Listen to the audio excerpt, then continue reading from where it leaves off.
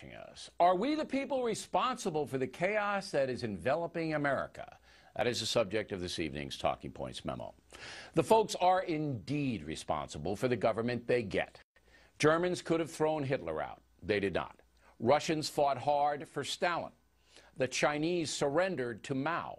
The Cubans allowed Fidel Castro to take away their liberty. The folks are responsible.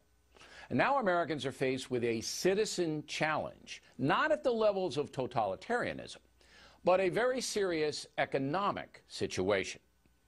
Yesterday, the Government Accountability Office, the nonpartisan investigative arm of Congress, released its annual audit of the U.S. government.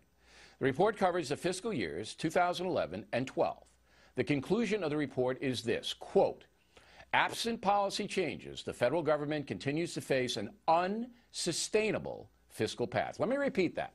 Absent policy changes, the federal government continues to face an unsustainable fiscal path.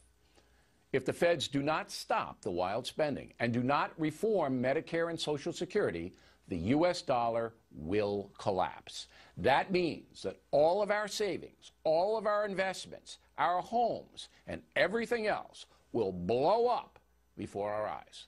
Now, chances are you will not hear about the GAO's report today, except on this program. The liberal media will not tell you what is going on. The reason? President Obama does not, does not want to cut federal spending or reform entitlements. That is crystal clear. And the media loves President Obama. So the folks be damned. This is like telling people standing on a beach, hey, a tsunami's coming. And if you don't move, you're going to be killed. But the beach folks say, I like it here. I'm not moving. And then eventually the wave sweeps them away. That's exactly what's happening now. We're living in a country that's polarized. We're also living in a country that is becoming addicted to machines, the internet. We discussed that last night. Many American citizens, perhaps most, are now too lazy to pay attention to their country. They're selfish, caught up in individual pursuits. Thus, the federal government has been allowed by the we the people to get out of control.